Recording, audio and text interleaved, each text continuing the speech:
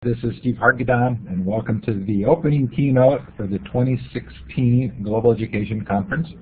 This is our sixth anniversary of this event. We're just thrilled to be here and thrilled to have you with us. Lucy Gray and I are co-chairs of, of this event. Lucy, are you there? Do you need moderator privileges? Let me give Lucy moderator privileges. Hi, I wasn't planning Let Lucy say hi. I'm here. I wasn't planning on moderating, so I came in on the regular link. But hi, everyone. We're glad to have you here. Thanks for coming. A huge and special thanks to our sponsors and supporters for this conference. Uh, really just love this crowd of people who, who support this event and who keep it as an authentic collaboration amongst global peers. So special thanks this year to VIF International Education and TES, uh, as well to our founding co-sponsors, the Global Campaign for Education and iEARN USA. A new sponsor this year, Otis, and to the rest of this great gang, we really appreciate you. So this is your chance in the audience to indicate where in the world you are at this moment. Look to the left of the map. You're going to look for the star icon. You're going to click on that and it opens out and gives you some options. You want to click on the star again or anything that you'd like and place yourself on the map by clicking on the map. You're welcome to put a note in the chat as well. It's always fun to know where people are in the world. So it looks like we've got Middle East, Northern Africa, Europe, United States, maybe Peru and Brazil, Asia could be Thailand.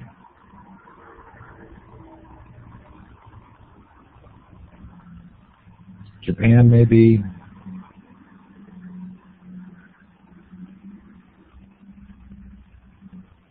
This is maybe the most fun part of any session for me is seeing the locations around the world. It's really kind of a thrill to know that we're connecting in this way. We welcome you. Keep making notes in the chat, but we'll need to move forward from the slide to give our keynotes the fullest amount of time possible. Okay, so at this time, I'm going to turn things over to Catherine, Meriem, Hannah, and Mohana. Welcome, and take it away. Thank you, Steve. Um, this is Christine. I'm going to jump in first um, before our our keynote speakers um, share their stories with us. And I, I want to say welcome everyone. Thank you so much for joining um, the opening keynote of the sixth conference. Um, we're really excited to be kicking off International Education Week with all of you. I'm Christine McCaleb, um, a YES program manager at iEARN USA. And um, the, the Kennedy Lugar Youth Exchange and Study Program is, is a really special program um, that uh, was established by Congress in October 2002 in response to the events of September 11th. And it is funded by the U.S. Department of State and sponsored by the Bureau of Educational and Cultural Affairs. It's a high school, it brings high school students from countries with significant Muslim populations to, with, to receive scholarships to, to spend up to one academic year in the U.S. They live with host families, they attend high school, they engage in activities um, to learn about American society and values. Uh, and oops, I'm just going to ask, I think we're moving through slides. I'm going to let it stay there. Um, and so they live with the host families, they, they go to high schools, they learn about American society and values, they acquire leadership skills, and, and then help educate Americans about their own countries and cultures by living in the community and sharing, um, sharing about their lives back home. And this is the first class of, of YES. Uh, students were recruited from 14 different countries and territories around the world. And today, the YES program brings nearly 900 students from 40 different countries and territories every year with uh, the hard work of a consortium of about 20 partner organizations. So the program was such a success that its sister program, the Yes Abroad program, was then launched in 2009, giving high school students in the U.S. a similar experience serving as youth ambassadors of the United States high school students from the U.S. would go to go to spend one academic year in one of 11 countries, promoting mutual understanding by forming lasting relationships with their host families and the communities, engaging in the local culture, etc., and then bringing that back home to the United States. Um, so now, 13 years later, uh, both of these programs have nearly 9,000 alumni worldwide, serving as cultural ambassadors, youth leaders, and community change makers. And so today, we're really excited. You'll hear from four of them about their cross-cultural perspectives on exchange. We have Catherine joining us, who was a Yes Abroad scholar in Morocco uh, in 2013-2014. Meriem was a YES student from Morocco, early years of the YES program, um, and she was placed in Colorado for the 2005-2006 program year. Hannah is a YES Abroad scholar who was in Malaysia for 2012-2013. And then finally, Mahana, who is a YES alumna from Malaysia, and she was also placed in Colorado for the 2010-2011 year.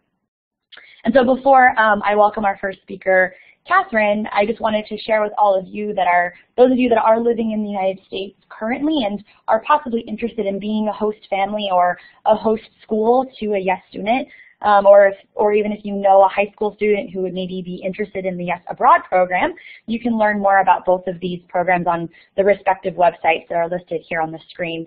Um, and just a side note that YES Abroad applications for the 2016 and 2017 year are currently open until December 1st. So um, hopefully the following stories will help and will encourage you to learn more and um, to participate by, by being a host or promote, encouraging a student to apply. So um, enough of me. Um, I'll go ahead and let Catherine now take the stage. Um, and just note that I'll be collecting questions throughout and we'll have some time at the end to ask questions of our, uh, our panelists. So thank you. Go ahead, Catherine. All right. Uh, hello, everyone. Thank you for that introduction, Christine. I'm so excited to be here.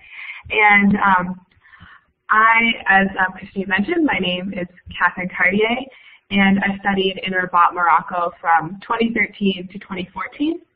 And I'm now 19 years old, and I'm studying at um, Lester B. Pearson United World College of the Pacific in Metchosin, British Columbia, so a small town in British Columbia.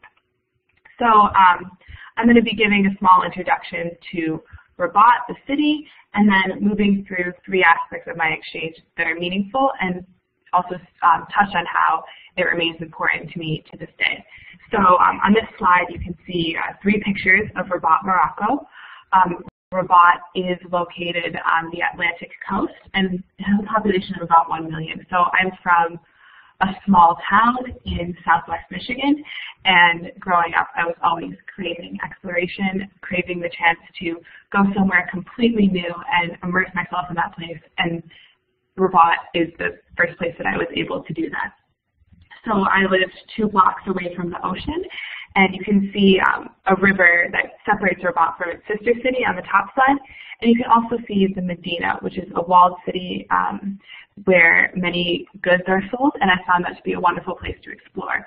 Um, on the right, you can see the street where my school was, and one element of my exchange was going to um, a small private um, French language high school. So um, to touch a bit about my host family, which was one of the greatest joys of my exchange, I lived with my host mother and three host sisters, all of whom were older than me.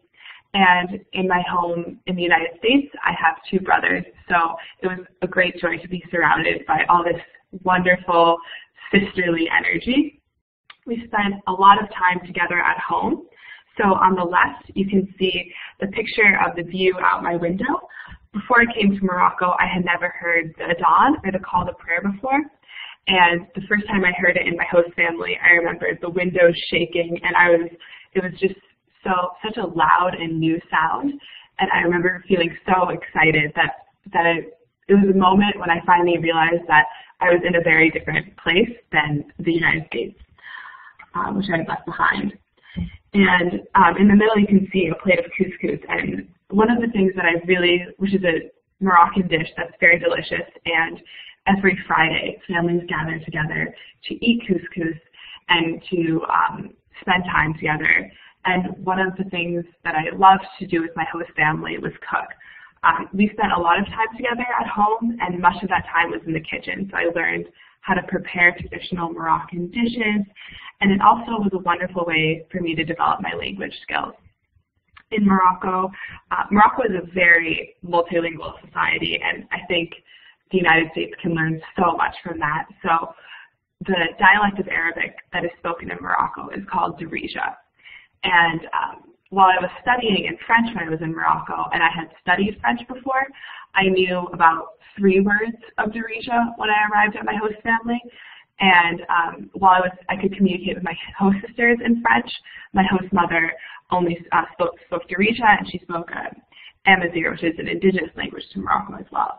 So through learning to cook, through helping out around the house, I was able to improve my Darija and to the point at the end of the year where I was able to explain to her the Yes Abroad program and why it is significant to me um, in in Darija. And so that was a very proud, um, proud moment for me. And um, my host family and I still talk. Um, we talked last week, and it's wonderful to know. They ask me when I'm going to come home and when I'm going to visit. And it's very beautiful to know that in another place across the world, there are people who love me and they know that I love them and that I would always, I'm always hoping that I will have a chance to go back as soon as possible. Another um, element of my exchange that I really enjoyed was English language volunteering. So when I came to Morocco, I was looking for different ways to engage with my community. I had volunteered at home, and an important element of the Yes Abroad program is service to the community. So um, I started helping out with various programs. And on the left, you can see uh, me and some other Yes Abroad students with um, Access students. So the Access program is an English language learning program that's run by U.S. embassies around the world. And I was able to be sort of a teacher's assistant at that program. And I think while I was sharing songs from the United States and games, I was gaining so much myself because my first friends in Morocco were Access students. I I struggled um, with adjusting to my new school.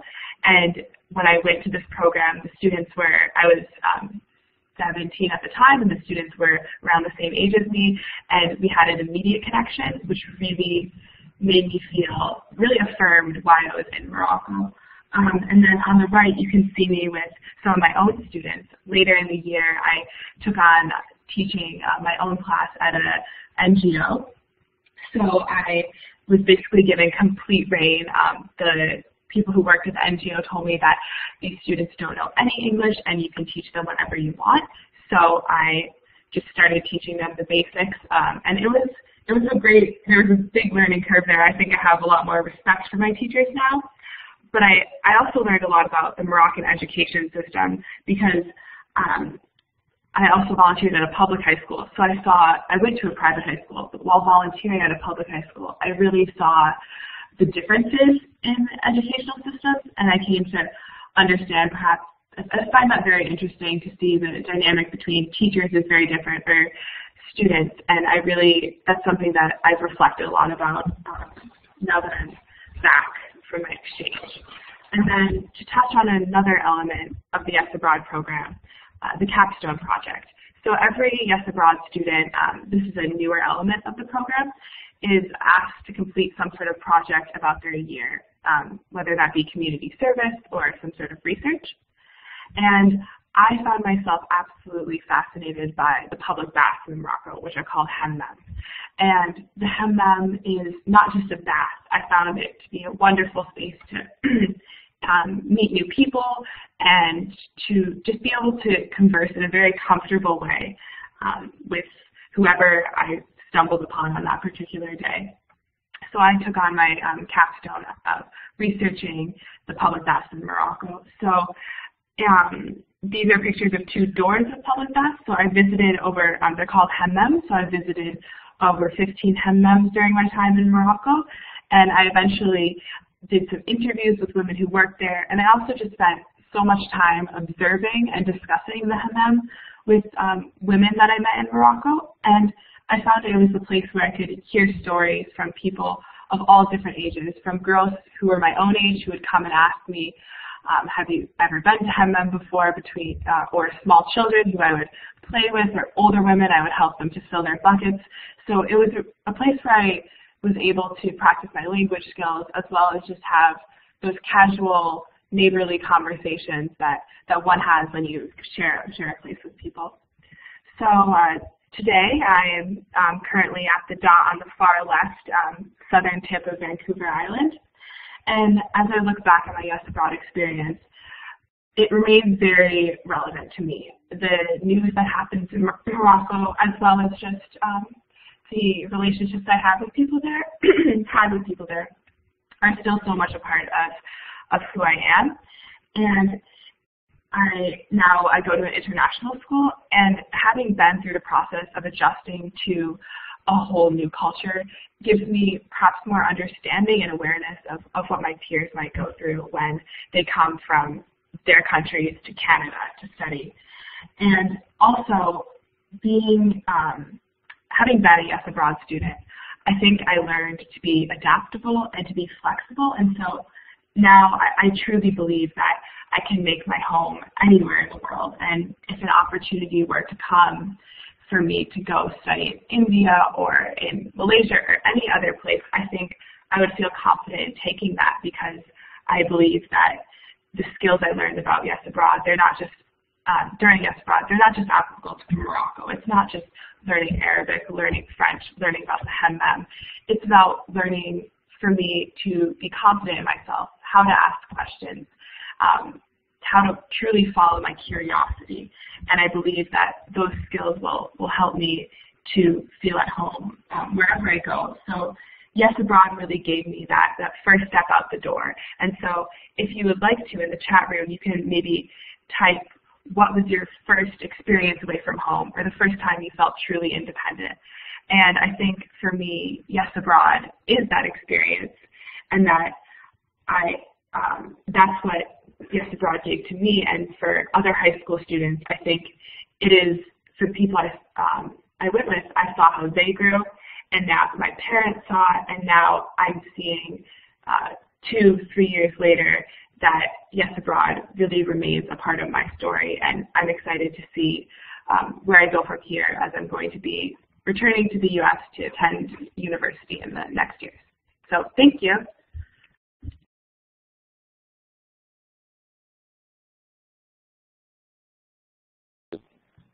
Thank you so much, Catherine. Okay, Meriem, um, we're excited to hear your side of the story now, um, coming from Morocco. Thank you, Christine.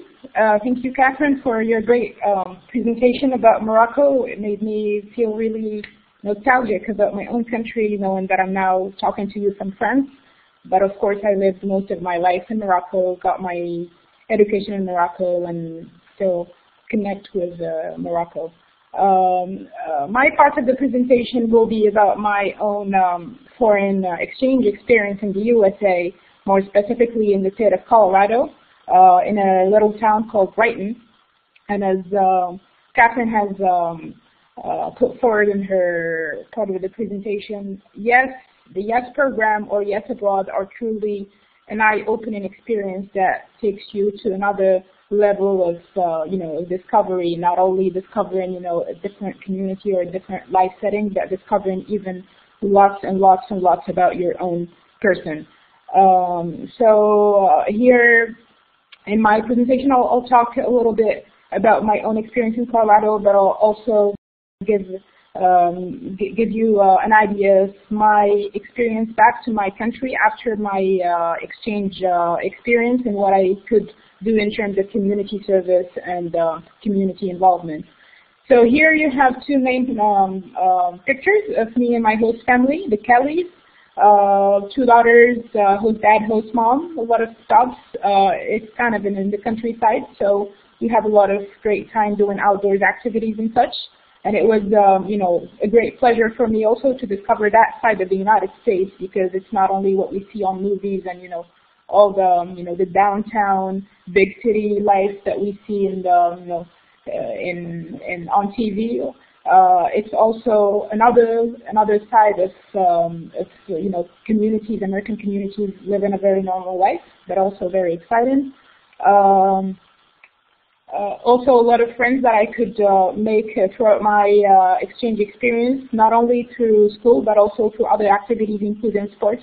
I was involved mainly in two clubs, um, um, cross country and um, soccer diversity team. So that was an amazing opportunity, you know, to get in touch with uh, um, American students and and exchange views on so many things. Um, actually, here um, um, it's uh, it's a slide where it's it's it's to vehicle this uh, funny. Uh, uh, interpretation of the word of the word Colorado uh, from the, from Morocco to the USA. So here you can see two uh, opposite um, uh, pictures. One reflects obviously one of the canyons in, in Colorado in the USA. But Colorado in Morocco means it's actually the name of a very known and uh, uh, popular company for paint. So whenever I told about my, I talked about my experience Colorado when I came back to Morocco, people thought I was talking about the paint. And uh, that got me, you know, involved in long discussions explaining, you know, what it is and that it's, you know, a geographical parts of the United States and uh, with history too, with a lot of uh, gorgeous uh, um, nature. So um, of course, when you go as part of an exchange program, not only you discover your host country, but you get the opportunity to talk about a lot about your own country to people. So that bridges a lot of links between where you come from and where you actually you're hosted. Uh, so here I got the opportunity to, you know, to uh, to receive friends and host family members uh, in Morocco. So here you have different pictures uh, from Rabat, the, the, the, the picture underneath, and then says and uh, our um, traditional salon in, at our home. So here, um, I think if I spend time talking about my experience, I could talk, uh, you know, for, for ages because um, it was just a truly eye-opening experience. Now, what happened after the experience was also interesting in terms of, you know, coming back, getting involved in your studies, uh, doing loads of stuff that are, of course, uh, academic focused and academic oriented, but also we had this opportunity to meet uh, different um, delegations from YES alumni from different countries in, the, in DC in 2009. So that means three, three years after I finished my, uh, my exchange year.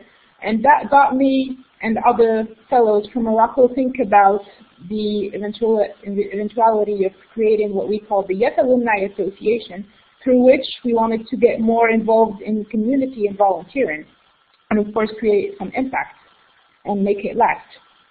So here, uh, just um, briefly, you can have, you know, th that was the initial group uh, that actually put the association together. Here you have different pictures of the association. We made T-shirts with the logo. We got, you know, brainstorming sessions where we started thinking of uh, different kinds of topics and, and, and projects that we could um, start in our respective communities.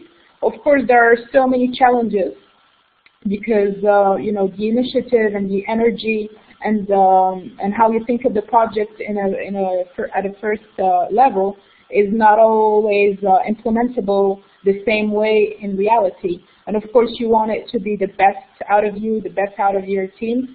And of course, you need to go through different hurdles, uh, speak with different stakeholders, get your uh, idea, have more uh, uh more uh, supports and funding, um, especially.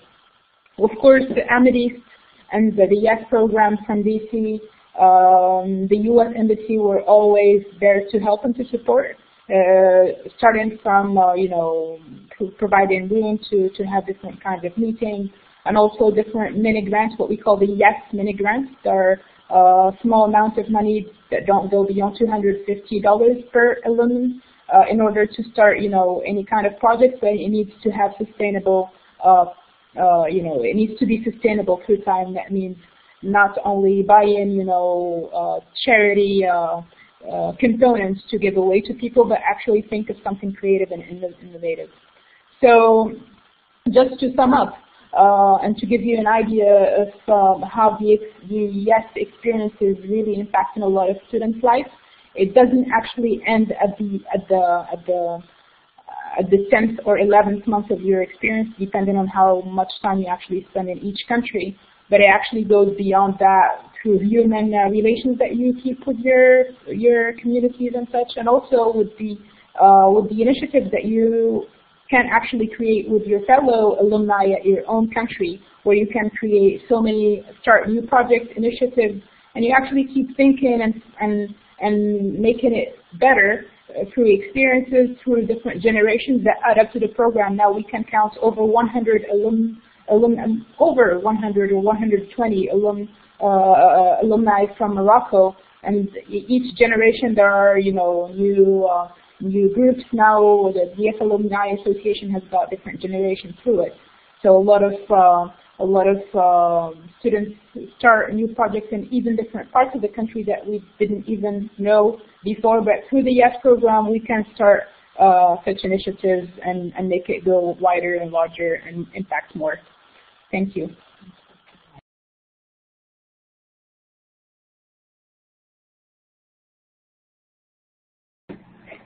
You so much, Meriem. Um, that was wonderful. And again, anyone, if you have questions, um, please feel free to put them in the chat box and we will, um, I'm saving them for the question and answer time at the very, very end.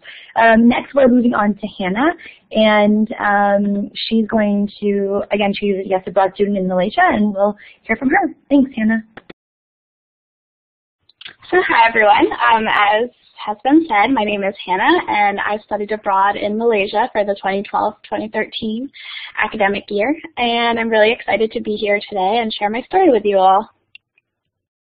Okay, so I spent my sophomore year abroad in Ipoh, Malaysia. Ipoh is a town in the northern part of the country. Um, I lived with a host family, attended a local school, but I'll talk all, all about that in a little bit. I'm a current freshman at Washington College in Chestertown, Maryland, and I have to mention this. Um, I don't know if you've seen the news today, but there is a gun threat on campus. I'm fine. I'm safe. We're just on lockdown and we're in our dorms for the day. But if you see anything, I'm fine. don't worry. Um, I Washington College. I'm studying international studies, anthropology, and double minoring in Chinese and Spanish. So it's very clear that um, my time abroad has influenced my career choices, and I really am enjoying studying these different things.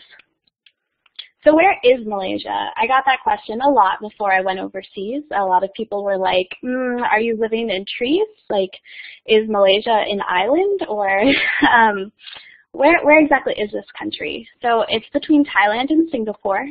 Um, this is in Southeast Asia. It's near Vietnam, Cambodia, Myanmar, all those countries. Um, I'm marked on this map. You can see my host town of Ipoh, marked off with the blue dot. So I'm was about two and a half hours away from the capital city of Kuala Lumpur. And I was also like four hours away from the border of Thailand. So here are some photos from my daily life in Malaysia. Um, on the top left, we have a picture that was taken in my host family's living room. It's all decked out because it was a holiday, and um, there are some gifts that we were going to give. Um, on the side, we have a picture of me with my host cousin, and on the bottom, there's a picture of the national flower of Malaysia, the bunga raya, um, the hibiscus. So it's very pretty. So the biggest thing that I took away from my time in Malaysia was a deeper understanding of the culture there. There's an idea in Malaysia of Satu Malaysia. It means one Malaysia, directly translated, and it's kind of an idea of unity and diversity. Malaysia is made up of a bunch of different cultures, the Malay, Chinese, Indian, and Orang Asli, which means um, like native people, so the aboriginals of the land. Um, Malaysia is also split. Um, if we go back to the map, you actually don't have half of it, but this is the peninsular part, and then there's the part with Borneo where it's an island shared with Indonesia. Um, so the culture in Malaysia, it's kind of like four countries in one because you can go to one family, a Malay family, and have a completely different experience than like you might with a Chinese family. So the, uh, that being said, tied to the cultures, traditions, and festivals are extremely important and a huge part of Malaysia. It felt like I had a week off from school just about every month because of the different events that were going on, the different holidays, things like that. Um, and I'm also going to talk a little bit later about the family structure when I mention my host family. So this is Malaysian Indian culture. Um, most of the Indians in Malaysia are Hindu, however there are some Christians. Um, the top left picture is me in a traditional gown. Um, there's actually a funny story. My host family um, just kind of told me one night when I got home from school that there is this event going on at the temple and I needed to get all dolled up and we um, ended up carrying flowers from one temple to another um, to honor the gods and kind of I guess pay our respects to them by show, giving them flowers. Um, and it was kind of one of those experiences where I didn't know that morning that I would be partaking in the festival. And by the end of the night, I was um, at this temple surrounded by people in this big line of people carrying the flowers, chanting, singing songs, all sorts of things. And it's kind of surprising how often things like that would happen. Um, some of the other pictures in this, there's a henna tattoo, some traditional Indian snacks, um, a temple, me with one of my Indian host families, and in the bottom left, uh, bottom right, excuse me, there's a picture of a rangoli, which is a design made out of colored rice that we do for the Hindu festival of Deepavali, which actually just happened. So next up, um, I guess the caption got deleted, but this is Malaysian Chinese culture. Um, I actually stayed with another American host family for Chinese New Year in Johor Bahru, which is about half an hour from Singapore. And we actually did get to go into Singapore to celebrate Chinese New Year, which was a really fascinating experience. It's amazing how different Singapore is from Malaysia, even though it's a half an hour away. Um, in the top middle, we have dim sum. I have to say that Malaysian Chinese food was probably some of my favorite food that I did have. Um, the other pictures, there's some temples, some lanterns, just some pictures of my experience with Chinese culture in Malaysia. Finally, we have Malay culture, and um, my host family was Malay, so I probably had the most exposure to this culture. Um, the two biggest festivals for the Malays of Malaysia are the Eid festivals. So there's Eid al-Fitr, which happens after Ramadan, the Islamic month of fasting. Um, and that's actually when I met my first, second host family, who I stayed with the entire year. It was, um, I fasted with them for five days for Ramadan, and let me tell you, in 90 degree weather, when you can't drink water, fasting is very difficult. I don't know if any of you have tried it, but certainly a challenge. Um, in the top right, we have me and my host mother, who I love dearly and miss so much. Um, and then there's some other pictures of some of the other festivals, the other Eid festival. Um, and then we have just some, just some other pictures of my time um, with Malay culture. So next we have school in Malaysia, and I have to say school in Malaysia was probably the hardest part of adjusting for me. I went to Sekolah Menengah Kebangsaan Main Convent Ipoh, um, SMK, Main Convent Ipoh, because that is a mouthful to say. Um, it was extremely different from my high school in America, which is in a pretty suburban town about an hour away from New York. Um, so suddenly I was from this pretty liberal-minded school into this all-girls, very strict school. So the teachers in Malaysia switch classrooms and the students stay in the same place, which was kind of an interesting adjustment. It also meant that I was with the same group of 40 girls um, for the entire day, so I got very close with the students in my class and learned a lot from them. There are also uniforms at Malaysian schools, and you'll see pictures of those in a minute. They're something very, um, very different from my, my typical school wear in the U.S. In Malaysia, the high school is divided into two tracks, the science track and the humanities track. Science track, you take more science and math-based courses, and humanities is more geography, history, um, kind of literature courses. And most of the science uh, subjects are taught in English, although it's kind of up to the discretion of the teacher a little bit as to what language they wanted to teach in. Um, and the Harry Potter effect, that's kind of a, a joke I make about my school in Malaysia. So, uh, like I said, everyone wore the uniforms, and there actually were four houses in my school in Malaysia, the red, yellow, green, and blue house.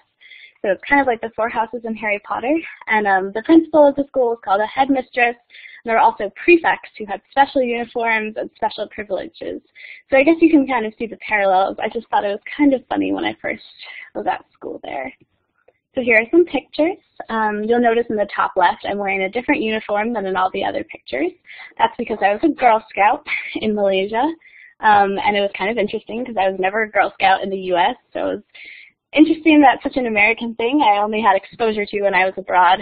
Um, the middle top is my class, uh, the 40 girls, and that's our class teacher in the front. Um, the top right is probably one of my favorite memories from Malaysian school. Um, my teacher, my biology teacher, decided one day that he was going to climb up this tree and cut down coconuts for us. So he cut down these coconuts and just took a giant knife and whacked them open for us, and we all drank coconut juice um, just because he felt like doing that for that day. Um, the bottom left two pictures are from my school. It was very beautiful, and that's a typical Malaysian classroom. Okay. Next, I'll talk a little bit about my host family. Uh, host family was definitely one of the most beneficial parts of the experience. Um, I had a host mother, a host father, two host sisters, and a host brother. However, my older host sister and younger host brother attended school, um, boarding school, and college.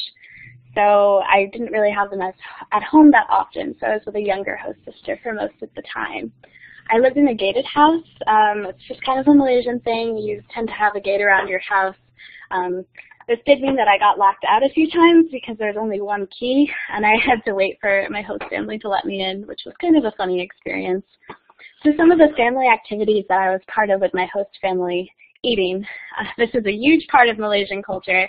In fact, the first thing that someone will ask you after they see you um, is sudah makan, which means did you already eat? Because it's really important that everyone's well fed and um, kept happy in Malaysia like that. Um, we would watch TV together. My host sister really liked Korean like soap operas, so I had a, a lot of exposure to those, which was kind of funny. Um, visiting villages, we went back to my host father's um, traditional village to see my host grandmother a bunch of times, like for holidays.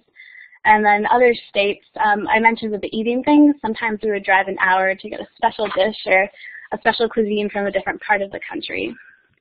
So my next bullet point, the politics in the spa, was kind of a, a really interesting thing that I experienced. My host father was heavily involved in politics. He was sort of like the mayor for the city that I was in. Um, and that was extremely interesting to experience because I was actually in Malaysia for the election cycle. Um, and the politics there, they're kind of complicated to explain, and it's hard to get a good explanation from anyone in Malaysia as to why it was so complicated. But um, there ended up being a lot of kind of difficulties with conspiracy, um, not conspiracy, like corruption in the politics and, and things like that. So um, it was very interesting to witness from an American perspective and have someone in my family who was so heavily involved in it. Um, on the other hand, my host mother owned a spa. So that was very lovely because someday she would pick me up from school and be like, you know, we're just going to go to the spa today. And I would get spa treatments. And I have to say, I really miss that about my life in Malaysia. Um, respect for elders is a huge part of Malaysian culture. There's a special greeting that you um, you kind of do to the elders. It's hard to do without um, demonstrating, but you sort of touch their forehead, uh, your forehead to their hand to show your respect for them. Um, and there's just a lot of different ways to show respect besides that. Um, in some Chinese families, you don't eat until the oldest person at the table says you can. So if they just feel like um, they don't want you to eat yet, you're you're up to their will. Um, finally, I want to mention Christmas in Cambodia. I my host family and I traveled to Cambodia for the winter break, and it was um, definitely a unique experience to be in a Buddhist country for um, for such a Christian festival, although there were Christmas trees all all over our hotel lobby, I was um I was you know not able to go to church and it was 90 degrees. It was just kind of a really unique Christmas experience, but it did bring me closer to my host family, so I'm glad for that. So here are some pictures of me and my host family. Um, the bottom left is during a festival. We're all in Malay traditional dress, the baju kurung. And on the right is in Cambodia. That's why there's a non-Malaysian flag, and that's on a boat cruise that we went on. Okay, so a little bit about the challenges I faced as an exchange student and overcame. Obviously, there's the language barrier. Um, I only knew like two words of Malay before I left, and those were words that I picked up at orientation. Um, there's also not a lot of resources to learn Malay online because it's not something that common, um, a common language that people learn in the States. So I was kind of left up to my own and I just learned a lot through immersion, some crazy sign language, things like that. And naturally I made mistakes. Like one time I accidentally ordered I Kepala um, instead of I Kelapa, which means I ordered head water instead of coconut water in a restaurant. And that was like a very awkward experience, but you know, I never forgot that word after that. So I guess it worked out for the for the better. Um, naturally, I was homesick at times. Uh, Christmas and my birthday are very close to each other, and that was a little bit of a challenging time. But I found the best way to deal with that was to just spend more time with my host family, let them know how I was feeling, not isolate myself. All all exchange student things. Um, so then there's also the local coordinators a lot of the liaisons in Malaysia do study in the capital city of Kuala Lumpur, so it can be hard to find someone that's in your area that you can um, always have there. I did have an amazing um, LP liaison person, as they're called in Malaysia, and he studied in Wisconsin under the YES program, and he was a, a really great resource for me. Finally, the idea of other exchange students. Um, I loved the other Americans that I was with in Malaysia, but I did find that it was very easy to compare my experience, and I was found that when I did that, I um, kind of lost the value of my own experience and why why it matters to me and how I was learning individually. If you compare all your experiences, um, you feel it feels like the experience that you're having is not entirely your own. But there's just so much that you can learn as an individual without um, without kind of comparing what you're doing to others. So here are just some uh, Malaysian photo spam of why I love Malaysia so much. Um, some of my favorite places in the country, the Petronas Towers, which are pretty iconic, um, a Hindu temple, Batu Caves. There's a monkey stealing a coconut, and that kind of thing happened a lot. Um, my host family actually had a pet monkey that I didn't know about until like two months after I was living with them. Um, my roommate's in the background laughing about this at my college in my dorm right now. Um, but I heard these um, kind of shrieking noises coming back from the back of the house, and I was very confused until I went out there, and I found out that we had a monkey. So that was that was a kind of funny story um, with my host family. Um, yeah, so those are just some pictures. So how study abroad changed my life. There's a lot of uh, a lot of the things you hear about cross-cultural understanding, independence and confidence, flexibility and adaptability, a new language, connections from around the world. Um, so all of these things, as cheesy as they sound, were definitely things that I picked up while I was abroad. I feel like I really grew up as a person. I learned how to be comfortable with myself and putting myself out there in all sorts of situations, whether it be giving a presentation in front of my um, whole school or just kind of uh, talking with a person on the street. Um, so those are all important things that I picked up. And finally, the idea of becoming a global citizen. I definitely learned a lot about what it means to have um, an international understanding and see things from my American perspective, but also kind of recognize and understand the perspectives that other people are coming with. So that's um, that's all my story. Um, if you have any questions, I would love to answer them. Just put them in the box and we will answer them in the question and answer time. Thank you very much. Hannah, thank you so much. Uh, what a wonderful presentation and great stories that you shared with us. And again, we're really happy that you were able to um, join us and that you are safe at your school. So thank you for sharing. Um, next up is Mahana, and she's going to wrap up our uh, presentations, and then we'll have some time for questions and answers. So don't stop uh, putting them in the chat room. Thanks. Hi, everyone. Can I be heard?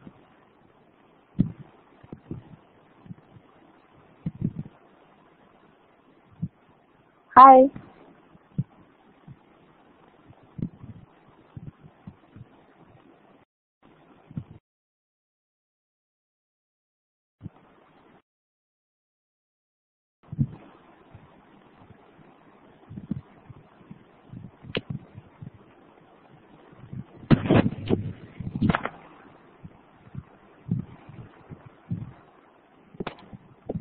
Hi everyone, my name is Mohana. So I was a returnee from the YES program in year 2010.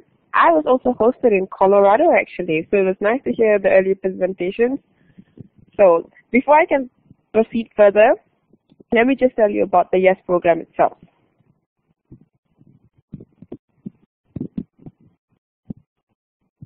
So the YES program was actually initiated after the 9-11 incident. It was part of an effort to promote a better understanding between the Muslim nations and the United States of America. So students from Islamic countries were, you know, brought to US and our roles were as ambassadors of our country to explain about how our lifestyle is.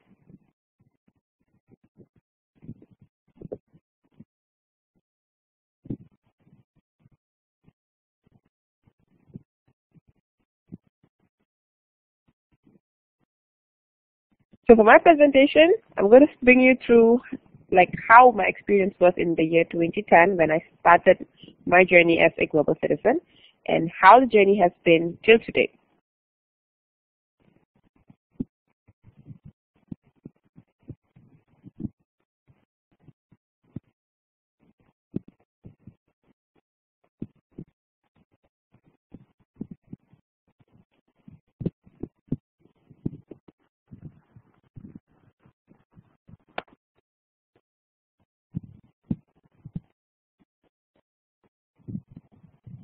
So when I, moving on to this picture collage, you will be able to see that I put a bunch of pictures from my experience and I'm not going to emphasize so much on the American culture that I learned because I'm pretty sure most of you are already living the culture.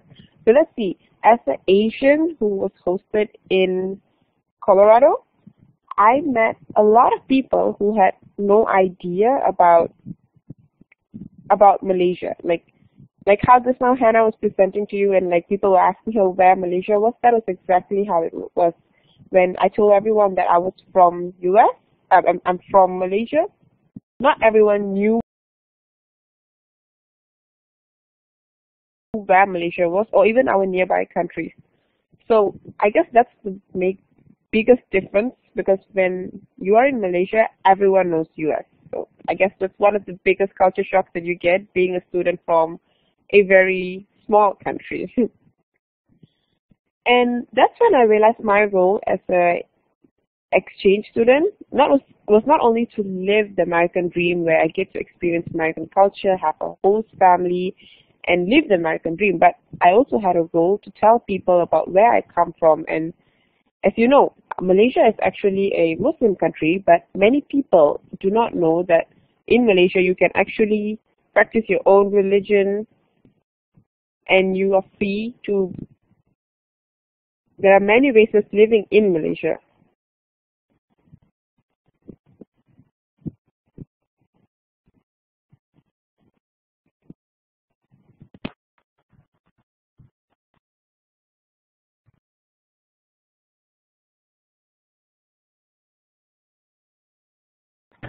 Sorry, everyone. I think she's having a difficult time seeing some of the slides, so and her connection's cutting out a bit. So we appreciate your uh, your patience. Hello. Yes. So my collage here says that pictures speak a thousand words, and if you look at one of the pictures here, it was during my high school. They had a cultural week, and in my cultural week, I just participated in a traditional costume fashion show where I, we need to bring some of the traditional costumes that we had and people would see us dressed in it. But as you realize, in Malaysia, we have so many races and we have so many traditional costumes. So I had a few traditional costumes that I brought with me. And during the fashion show, uh, me and a few of my friends, we all wore Malaysian costumes, but they were all so different. And when they were explaining about Malaysian tradition, it was the first time that many people in Greeley West High School have actually even heard about the country Malaysia. So that's when I realized exchange is not just a one-way thing. I was not there to only live the American dream, but I was also there to tell people about the difference or the diversity that the whole of Asia has to have because in Malaysia, we consider ourselves the essence of Asia. So that was how my exchange was in US. I learned that I was there to fulfill a role to show people the different cultures of the world and during my exchange as well because you meet students from all over the world when you go on an exchange, especially when I went under the YES program, I was hosted and I got to meet with people from different countries. So after my program, I came back and that's when I would say the real story or the bigger part actually starts. And for me, there was a sense of, you know, you, I think not only for me, for most people who go back from an exchange, there's always a sense of missing back your whole family and the whole experience and there's a sense of you want to keep your exchange going and that's when we get engaged with our alumni networks. For me, it will be the YES Alumni Malaysia or AFS Malaysia. And of course, there's also AFS from there's other countries and there's also YES alumni all from all over the country, from other countries. When I joined the alumni, there were so many activities that we could participate in, and most of these activities were relating back to what we had learned during our exchange. As I said, I was there to live them. There was such a very, there was such a neat way of disposing garbage. Like every household, they practiced recycling, and the garbage disposal was such a neat and clean process. Whereas in Malaysia, we don't really practice recycling in our daily life in our household kitchen. So we who have been to America, when we get back to Malaysia and we were part of our alumni network, we tried to promote all these good things or all these positive things that we learned back in our own community. We held campaigns and new programs to encourage people to do recycling. And these were all small activities that brought the spirit of our exchange together and made us keep trying to keep people engaged.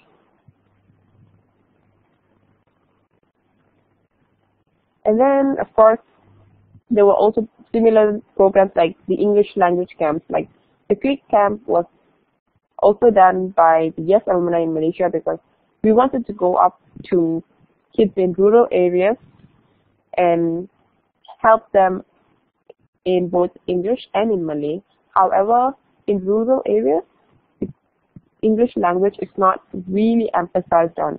So we, the YES alumni, go to these kids in rural areas and encourage them to improve their language and show them possible opportunities that may come up when they improve their own competence. So that was something that we keep trying, we keep trying to improve our our apart from that, we also have, the, alumni does a lot of volunteering activities where we encourage each other's ideas and motivation. We keep the energy and we encourage each other to keep trying new activities to do something that's fulfilling to our own selves and also the community. And I'm just going to highlight on a few things that happened this year. Just earlier this year in April, I participated in the Yes Talk. The YES Talk was a program which was held in Tunisia, where a YES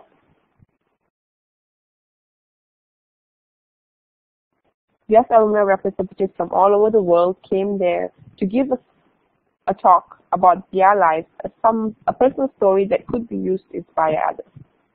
And of course, for me, I was one of the speakers. I was very fortunate because I got to improve on my communication skills and all the things.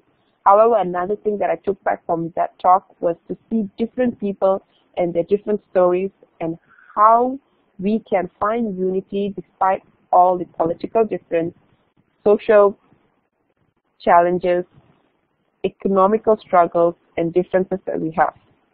And later on this year, there was also a beach cleanup that was done in in my state, Perak, which was also to promote the sense of volunteerism.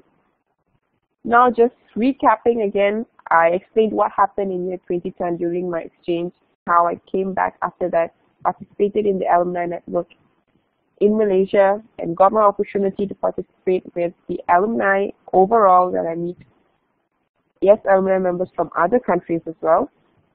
And as of now, if I was to recall my journey and if I had an opportunity to go back to that same girl in year 2009 who was applying for the YES program, I will only tell her that she made a good choice in applying for the program and there will be no regrets in having applied and sticking to the program. In fact, I think I can even speak on behalf of every other YES alumni that we will forever be grateful to those who have created and given us this opportunity to be a global citizen. To the U.S. State Department for funding the program, our sending and hosting organizations, and of course, all the families who supported each one of us throughout this experience. We will definitely be very grateful and of course work towards giving back to our communities and work towards fulfilling and being a global citizen. So that's pretty much for my part. Thank you so Thank much. you. And again, thank you to our other three presenters, Catherine, Hannah, and Meriem. Um, I think that this gave you such a really rich understanding of your experiences with exchange and in the and in your um, home and host communities uh, and how you, you viewed what you shared and learned. And it's very clear that um, these experiences were very transformative for you and also for the people that you met um, along the way and who you'll continue to meet on your journey as global citizens. So thank you for sharing. Um, I'd like to open it up now. We only have, I think, a few more minutes um, to answer a few questions and I I have a couple right so while you think about what you'd like uh, the presenters to share, I have a few that you uh, mentioned in the chat room earlier. So let's go ahead and start with, um, I think the question was for for Catherine and for Meriem, did you, either of you experience culture shock um, at first? And if you did, could you just briefly, because we only have a couple minutes, just briefly tell us what that culture shock um, was like and how you kind of overcame that and maybe what you learned from it?